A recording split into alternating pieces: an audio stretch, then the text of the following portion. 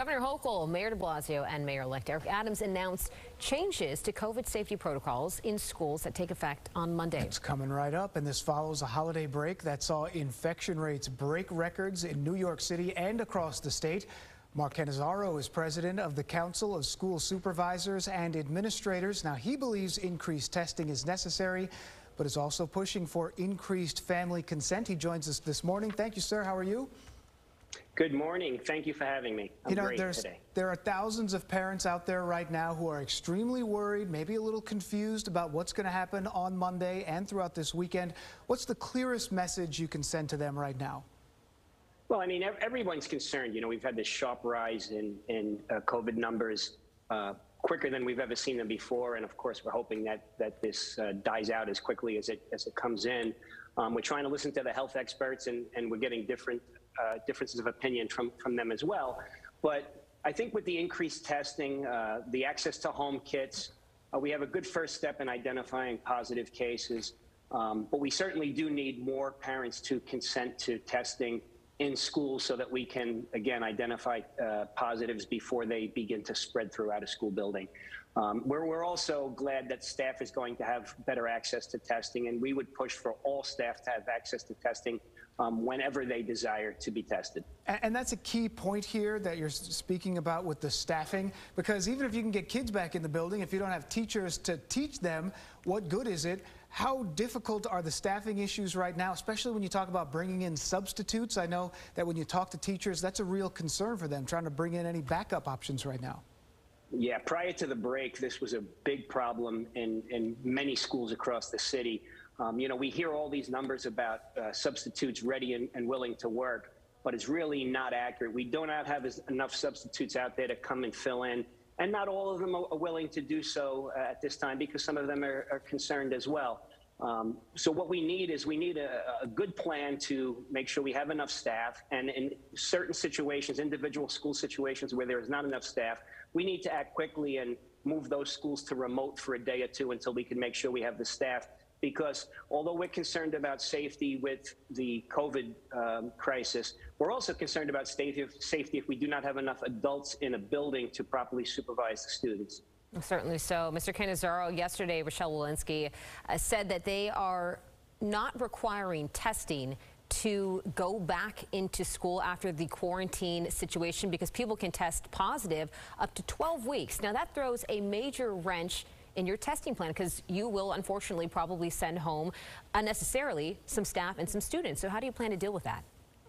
Well, I mean, look, there is always nothing is perfect, right? And, and you have to do the best you possibly can to instill confidence in families and staff members that they're going to be safe.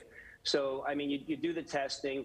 Uh, if somebody had already been positive and has come back, we understand that, especially with the PCR test, they may test positive again. But the doctors will tell them when they are no longer infectious and if they are no longer symptomatic when they can come back. But um, testing people ahead of time, I, I think, instills some confidence and, and may also remove people from a situation before they start to spread the virus. So while nothing is perfect, I think we just have to do the best we can and, and you know, listen to the folks that are directing us as far as uh, our doctors and, and make the decisions accordingly. Now, I know parents do have to give consent for their kids to be tested, which not all parents have done. What is your plan to increase the amount of parents that will opt into this? Yeah, I mean, I think we just have to educate them the best we can and, and try to get as many people uh, as possible to uh, opt into the testing. You know, when the city decided early on that they would not pro provide a remote option for students this year, well, that took away the testing mandate for students that do choose to attend. So it put us in a, in a kind of a difficult situation there but I, we just need to educate people and, and, get as many as possible to uh, to agree to testing. You, you know, you you touched on it there when you talk about some of these remote options. Is it even feasible to put a school into a remote option? I mean, we're seeing numbers increase like we haven't seen since the start of the pandemic. Is the school system even set up to go to remote like right now? And would that be something you'd want the incoming mayor to start to think about? Well, listen, we're, we're, in a much better place than we were in 2020 when we had to go remote. Um, but we all understand that students in school is the certain, certainly the best option for as for most students. Um, but uh, you know where we were coming into this school year, having the option to go remote for, for families that wanted it probably uh, would have made things a lot easier right now for many of us and for families as well.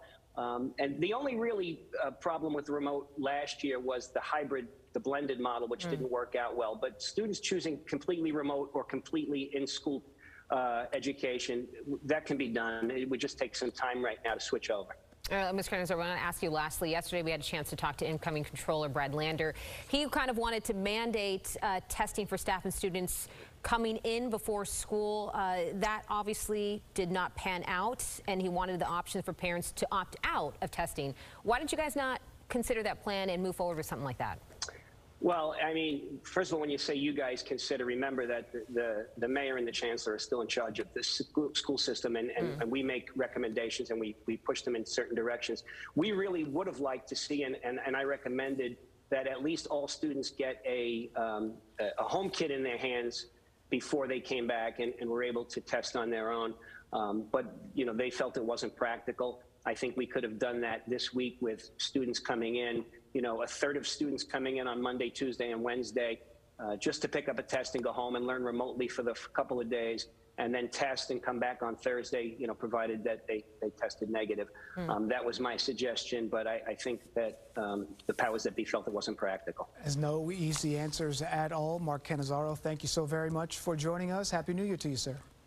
Thank you, and Happy New Year to you, too. Thank you.